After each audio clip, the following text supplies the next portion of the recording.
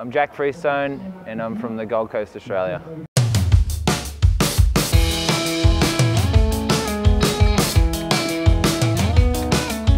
I've tried it, but it's not something I see. And it takes me back to where I was before. It's always hard leaving my family, um, especially when we got legs like this, but it's definitely, and everyone else can understand this as a parent, it's the most rewarding thing in the world. Yeah, we travel probably like 80% of the time. It's just the long hauls that, uh, that it's just kind of hard trying to, you know, navigate around bringing a child with us. Uh, so, yeah, it's about 80% of the time. This event alone, the Ballito Pro, has helped me so much. It's like, not only is it my favorite event of the year, it's probably the most sentimental to me because it's given me the opportunity, I think back in I want to say 2014. I, I wasn't even in the primes, and I, I, think I got a wild card here, and I got a fifth, and it just projected me into you know a really crazy momentum kind of uh, ordeal. And the next year I ended up qualifying, and I believe it's all from this event. So um, it means a lot to me. Basically, the the whole philosophy of this event, especially heading into J Bay, is just putting your time in in the water with a ration, just getting comfortable with the feelings, and that's it, basically, and, and, and just surfing fun waves too.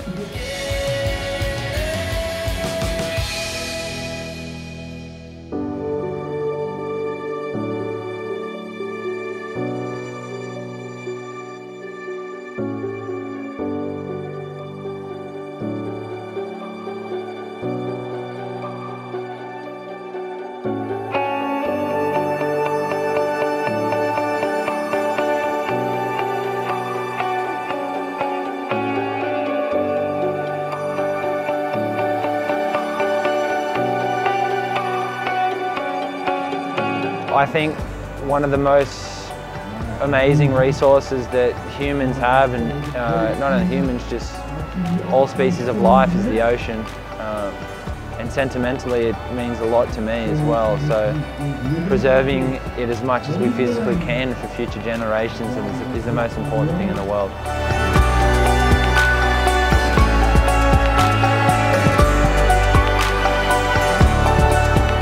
Us as surfers, we're quite conscious of it and wouldn't throw a piece of plastic on the ground because we'll know it'll end up in the ocean. It's just hard to see that so much of, of our population don't really care or, or don't really know how harmful it is to the ocean.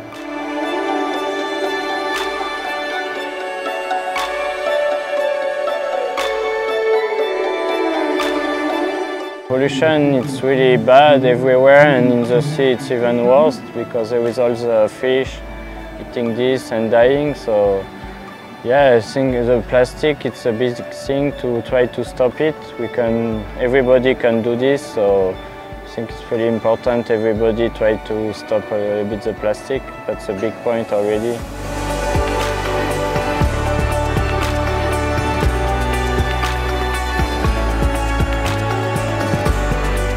Oh, it's, it's one of the most important things in the world. I mean, obviously, human beings, we've, you know, pretty much trashed, um, you know, our, our oceans and, you know, the world. And, uh, you know, it's really important for us to take a step back and, you know, every little thing counts. Like, just the single use of, you know, not using single-use plastic is just such a big thing. Plastic is just destroying our oceans and our marine life and everything. And yeah, it's something that I've just really been trying to work on as well for myself because you know it just starts with you honestly like just not using straws or not you know getting a hydro flask or any kind of flask where you can just refill and going to refill stations it's insane. And um, you know especially at the uh, the airports now like if you travel with you know a hydro flask or whatever any kind of flask you can fill up and you don't have to spend six dollars for a plastic water bottle that you're only going to use once. And not only are you saving money but you know, you're helping the world too, so uh, on our oceans. And, you know, it's gotten to the point where it's extreme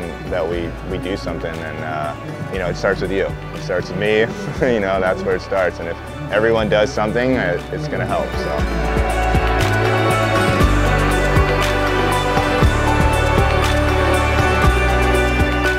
What can we do to fix it? Uh, educate people and I don't know. There's a bunch of cool projects, you know, around the world that we could, you know, we could recycle. We could, I don't know, go after those those projects, those people that are really thinking about thinking about the, the planet Earth and support them. You know.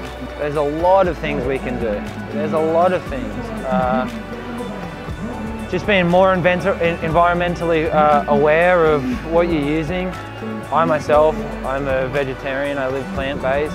Uh, I feel like ethically, I think it's one of the most important things for the environment. Um, and that's the reason I am an, a, a, a vegetarian, is because I, I- I feel like I'm doing my, I'm trying to do the most I physically can to preserve it for um, my children and their children and just future generations to come.